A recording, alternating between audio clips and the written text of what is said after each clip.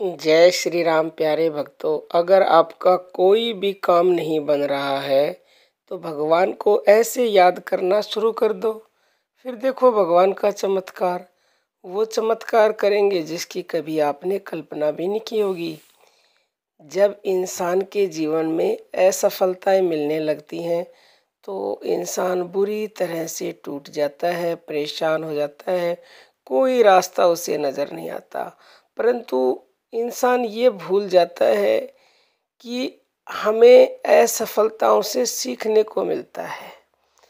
जब भी हमें असफलता मिलती है तो हमें उससे सीख लेनी चाहिए कि वो शक्ति हमारे अंदर ही है, जो शक्ति पूरे ब्रह्मांडों को चला रही है, जिस शक्ति से ये सूरत चाँद जगमगा रहे हैं और जो शक्ति असंभव को संभव कर सकती है, उसी शक्ति को आप प्रतिदिन याद करोगे, उसी शक्ति से जुड़ोगे सीधा तो आपके हर कार्य में आपको निसंदेह सफलता मिलेगी। और अगर आप चैनल पर नए आए हो तो चैनल को सब्सक्राइब कर लें, क्योंकि आप कोई भी वीडियो मिस ना करें। तो आप बात करते हैं आज के टॉपिक की। देखो, आपको अलग से समय निकालने की ज़रूरत नहीं है। कई व्यक्ति बताते हैं कि एक घंटा बैठ के करो, दो घंटे बैठ के नाम जप करो, उसका और आज के टाइम में सबसे मेन समस्या है कि इंसानों के पास समय बहुत ही कम है। तो जो हम आपको बता रहे हैं, वो सारे काम करते करते ही आपको करना है। देखो, वैसे तो आप मन के द्वारा भी भगवान को बोल सकते हो।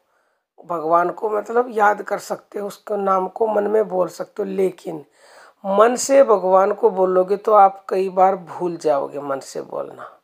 जैसे आप राम राम राम राम मन में बोल रहे हो, सारे दिन बोल सकते हो, मन से भी लाभ मिलता है, हज़ार गुना ज़्यादा वाणी की बजाय।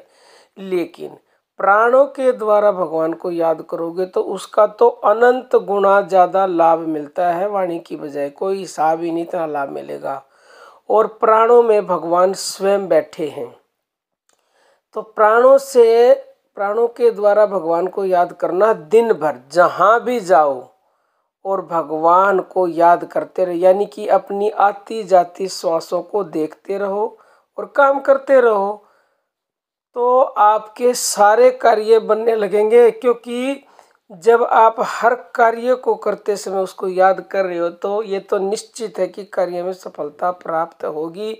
क्योंकि गीता में भगवान ने कहा है कि तन की मुझे ज़रूरत नहीं है, मन की ज़रूरत है, और मन भगवान को कैसे देंगे? मन को देने की चीज़ तो है नहीं। यानी कि मन से उन श्वासों को देखते रहो, जिन श्वासों में परमात्मा का वास है। तो आपने मन को भगवान को दे दिया और मन भगवान को दे दिया तो युद्ध जैसे कार्य में जब सफलता प्राप्त हुई अर्जुन को तो आपके तो छोटे मोटे कार्य हैं ये तो ये तो यूँ हो जाएँगे, पलक झपकते ही पूरे, कि आपको आश्चर्य होने लगेगा कि हर कार्य में मुझे कैसे सफलता मिलने लगी।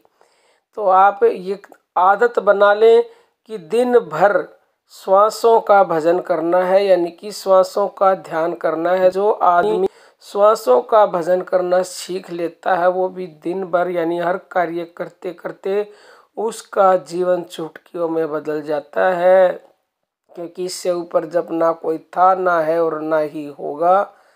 और अगर आप हमारे फेसबुक पेज को फॉलो करना चाहते हो तो डिस्क्रिप्शन में आपको लिंक मिलेगी। उम्मीद है आज की वीडियो आपको पसंद आई होगी। बहुत ही जल्द मिलते हैं किसी नए वीडियो में। तब तक आप नाम जप करने का अभ्यास करें, यानी कि प्राण जप करने का अभ्यास करें और अपने जीवन को बदलें। जय श्री राम।